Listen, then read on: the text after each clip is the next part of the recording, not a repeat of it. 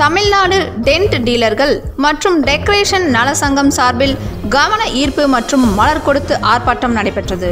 தமிழகத்தில் நூற்றி நாற்பத்தி நான்கு தடை உத்தரவு அமலில் உள்ள நிலையில் தருமபுரி மாவட்டத்தில் சுமார் இரண்டாயிரம் குடும்பங்களுக்கு மேல் சப்ளையர்ஸ் மற்றும் பந்தல் மேடை அமைப்பாளர்கள் ஒலி ஒளி டெக்கரேஷன் டெக்கரேட்டர்ஸ் ஜெனரேட்டர்ஸ் உரிமையாளர்கள் வாழ்வாதாரத்தை இழந்து தவிக்கின்றனர். இதனால் தமிழக அரசு திருமணங்களை நடத்த அனுமதி அளிக்கும் பட்சத்தில் திருமண வேலைகளை செய்யும் அனைவரும் அரசு உத்தரவை மதித்து செயல்படுத்தி திருமணங்களை பாதுகாப்புடன் நடத்திட உறுதி கூறுகின்றோம். இதன் மூலம் பல ஆயிரம் திருமணங்கள் சேர்ந்து தொழில் செய்து வரும் பந்தல் அமைப்பாளர்கள் சமையல் கலைஞர்கள் போட்டோ வீடியோகிராஃபர் கேட்ரிங் சர்வீஸ் தொழிலாளர்கள் பூ மாலை வியாபாரிகள் வாடகை பாத்திரக்கடை பத்திரிகை வாடகை பாத்திரக்கடை பத்திரிகை மற்றும் தாம்பூலம் பிரிண்டர்ஸ் வரவேற்பு பெண்கள் ஒப்பனை கலைஞர்கள் புரோகிதர்கள் என பல லட்சம் தொழிலாளர்கள் வாழ்வில் மறுமலர்ச்சி ஏற்படும். எனவே தமிழக அரசு மற்ற கடைகளுக்கு தளர்வு அளித்தது போல் எங்களுக்கும் சில தளர்வுகள் அளித்து வேலை செய்ய அனுமதிக்க வேண்டும் என்று ஆர்ப்பாட்டத்தில் ஈடுபட்டனர். டீலர் மற்றும் டெக்கரேஷன் நல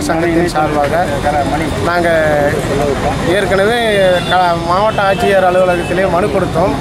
இன்றைக்கு வரைக்கும் அதுக்கு எந்தவித தகவலும் இல்லை. ஆகவே நாங்கள் இன்றைக்கு வந்து வந்து இந்த தொழில் செய்கிறவங்க வந்து கிட்டத்தட்ட தருமபுரி மாவட்டத்தில் மட்டும் ஒரு ரெண்டாயிரம் குடும்பம் இருக்கோம். இவங்க அனைவருமே ரொம்ப கஷ்டத்தில் இருக்கிறாங்க. ஆகவே இவங்களுக்கு ஏதாவது நிவாரணம் கேட்டு நாங்கள் மனு கொடுக்கல. எங்களை தொழில் செய்ய விடுங்க. சமூக இடைவெளியை பின்பற்றும் வகையில் எங்களுக்கு தொழில் செய்ய விடுங்கன்னு தான் நாங்கள் மனு கொடுத்துருக்குறோம். அதை கொடுத்தாலே எங்களுக்கு போதும். எங்களுக்கு பெரிய அளவுக்கு இல்லைனாலும் பரவாயில்ல.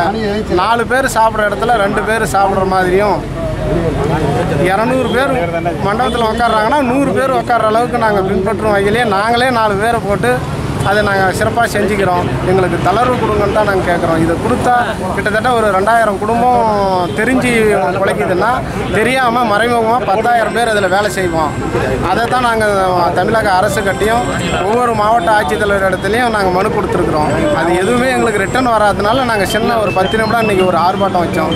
இதுவும் எங்களுக்கு எதுவும் கிடைக்கலன்னா இன்னும் ஒரு வாரம் பத்து நாள் கழிச்சு எங்கள் பொருளை பூரா ஒரு வண்டியில் ஏற்றி எல்லாம் லைனாக கொண்டாட போகிறோம் எடுத்து கவன ஈர்ப்பாக இதை தமிழக அரசு அரசுக்கு கொண்டு போய் மாவட்ட ஆட்சித்தலைவர் அவர்கள் எங்களுக்கு ஏதேனும் இதை வழிவகை செய்தால் ரொம்ப நல்லா இருக்குன்றது எங்களது அன்பான வேண்டுகோள். இதை வேண்டி விரும்பி கேட்டுக்கொள்கிறோம். நன்றி வணக்கம்.